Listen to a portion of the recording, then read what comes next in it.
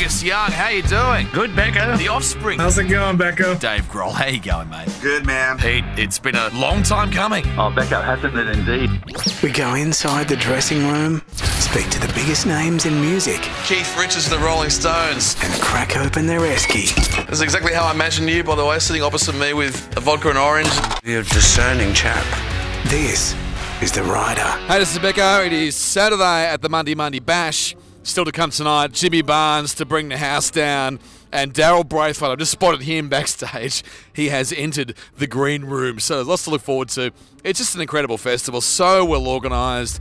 The merchandise, by the way, is so good. It's already sold out, and uh, they've covered off all bases. I mean, you've got camel rides. You can go up on a chopper, and the scenery is just amazing. So look, if you couldn't make it this time around, um, definitely make it next time because the Mundi Mundi Bash will be back bigger and better than ever. Kasey Chambers is here, ready to go on stage tonight. Uh, it's something amazing about the red, dusty plains. I love it. It feels like home to me. I grew up in the outback, so sitting around in the red dirt, it feels more at home to me than being on grass or on concrete or even on a stage, to be honest. Yeah. What's true? Because you're from the Nullarbor. I mean, Yeah, yeah. My my dad was actually a professional fox hunter of all things. I know how random's that. And uh, like, so I had spent a lot of my childhood um, out in the outback, but.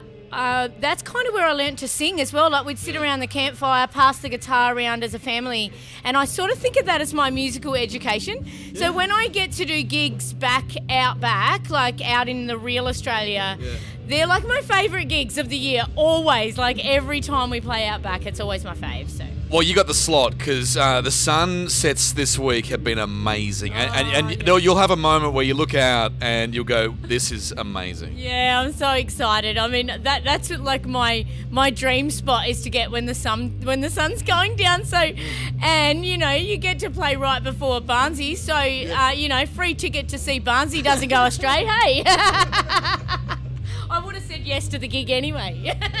Final day, the Mundi Mundi Bash. Mark Kosowski, how does it feel over the last couple of days? Pretty amazing. Look, it's been unbelievable. We've had incredible weather. Every single band's killed it. Um, the punters are just lapping it up.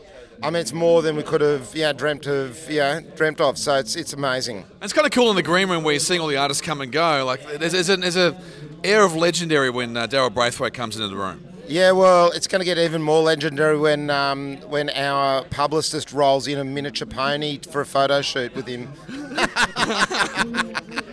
I'm here with Daryl Braithwaite. We're here at the bar here at the Mundi Mundi Bash. What is the ritual pre-gig? I, I see coffee and honey. Is that right?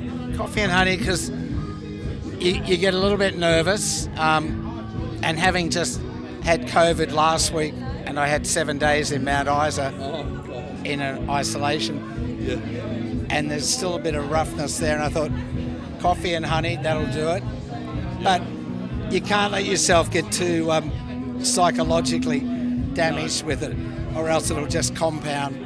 Yeah. But I feel all right.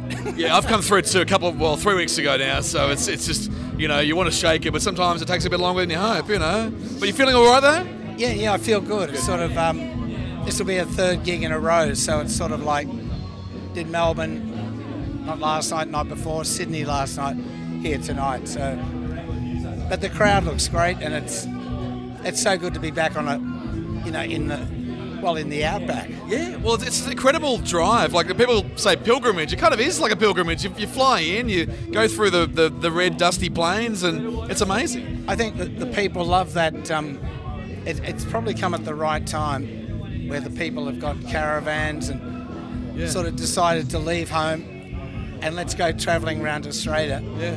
So they come here, they go to Birdsville, other places, and then they go, "My God, how big is Australia?" And I go, "Yes, it is. Yeah. It's unbelievable." Daryl, it's great to see you, and I uh, can't wait to see you on stage. Thank you. Looking forward to it.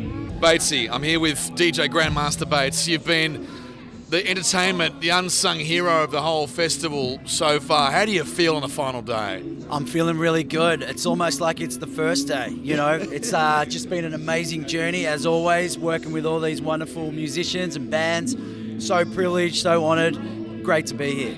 So uh, highlights. I mean, I mean, Midnight Oil on the first major night was amazing, but um, I mean, it's, it's pretty cool to come off the back of a, a big set like last night with John Stevens, and you were the one who brought it home. It was a lot of fun. A lot of people just want to keep partying, and if there's any ever one person that wants to keep partying, it's the Grandmaster Bates. And uh, yeah, had the opportunity to do it last night, and I'm looking forward to doing it again tonight. We've got Randall here, one of the legendary uh, side of stage blokes who make it all happen. Um, you've been doing a lot of tours, a lot of gigs, a lot of comedy as well. Yes. You were Rodney Rude's co-writer. Yes.